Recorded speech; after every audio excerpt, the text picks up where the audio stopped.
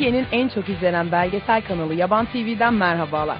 Cem Karabay ile Scuba Öğreniyorum sizlere Maldivler'den seslenmeye devam ediyor. Bazen su altında bazen adalarda geziyoruz.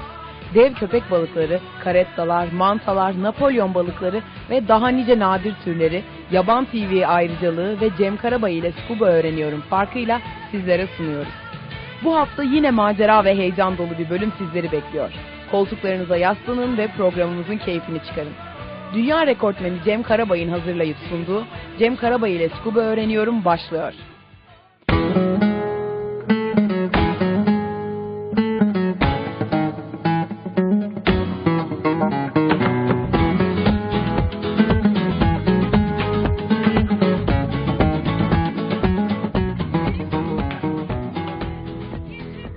Sevgili Tamer adaya ayak bastın. Düşüncelerin Valla çok güzel bir yer hocam.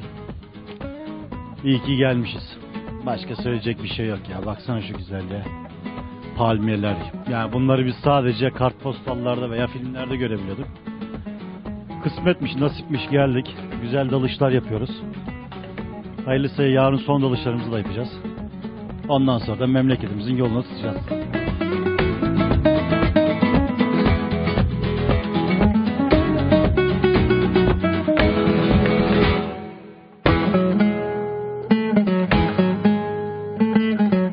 White şu an adadayız. Düşüncelerini ve duygularını alalım. Hayal ülkesinde Maldivler'deyiz. Bembeyaz sahilinde kumsala çıktık. Harika. Bir şey diyemiyorsun. Ancak gelmek lazım, görmek lazım. Pek kelimeyle tarif edilemiyor. Mutluyuz. Akşam şimdi güzelce bir şölenimiz olacak inşallah. Partimiz olacak. Hayırlısı bakalım. Artık sona doğru yaklaşıyoruz. Maalesef geri döneceğiz. Her şey çok güzel.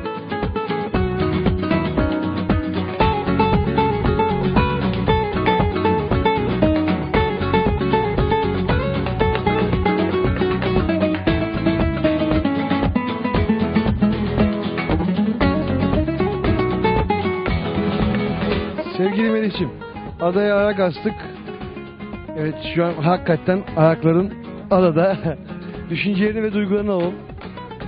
Ee, Mutluyuz hocam. En sonunda e, bir, bir, e, bir hafta olmuştur herhalde. Bir haftaya yakın bir zamandan sonra ilk defa karaya bastık.